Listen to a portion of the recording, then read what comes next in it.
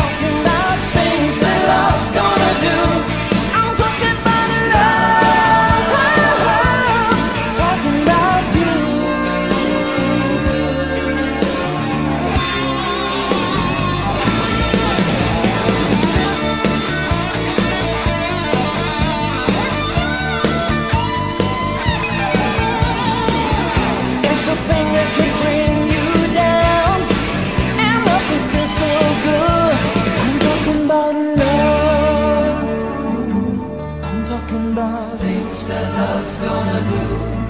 Talking about love.